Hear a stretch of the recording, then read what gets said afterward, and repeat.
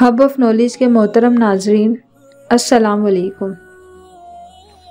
अखरोट खाने के फ़वाद नंबर एक, अखरोट पेट को लंबे अरसे तक भरा हुआ रखता है।